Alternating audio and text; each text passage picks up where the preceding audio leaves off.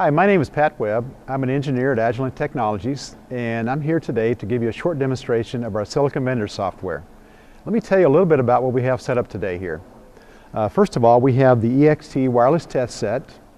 I have an Altair USB dongle, and I have our Silicon Vendor software. And what we're going to do is run a complete calibration and verification of the Altair device controlled by our Silicon Vendor software. Okay, before we get into the demo, let me tell you a little bit about what's required to have a non-signaling test set up. There are two things. Basically, you need to have software provided by the chipset vendor to control the chipset and to put the chip into the chipset into the proper test modes. Secondly, you need to have silicon vendor software, such as what we're demonstrating here today, to be able to control the EXT as well as synchronize that with the silicon software. Okay, there are two ways to operate our Silicon Vendor software. What I'll show you today is a command line interface, and that's useful for demonstration and also for debugging. The way that most customers will actually use this in their production flow is to use, make use of the APIs we provide and integrate those into their test executive. Okay, to set up the Silicon Vendor software, there are really three easy steps you need to follow. First, you need to set up the instrument, uh, which means setting up the EXT address, which I.O. port you're going to use, which DUT band you're going to uh, test. In this case, we're testing an LTE band 7. And you also need to select the calibration items and the verification items. Uh, calibration items include uh, TX gain, uh, TX gain over frequency, RX gain, cal, and RX gain over frequency.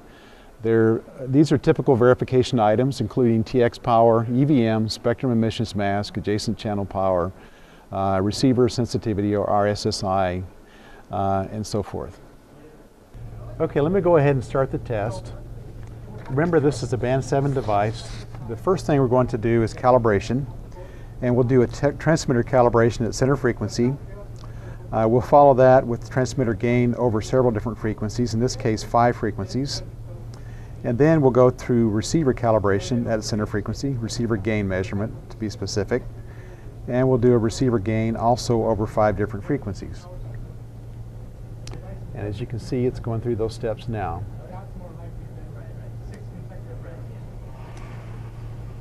What will happen next is we'll start the verification test and we will do verification over three different channels.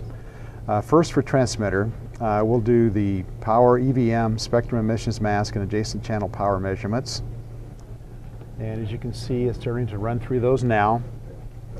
Uh, when that's complete, we'll do receiver verification. And remember, this, is, this device has a diversity receiver, so we'll do two different receiver tests, or we'll test two different receivers, I should say.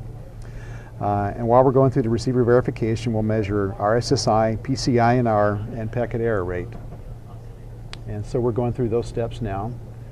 And you can see the results being displayed there for each of the tests. And as you can see, the device passed, and we show uh, each of the tests, a summary for each test, as well as the test time for each test.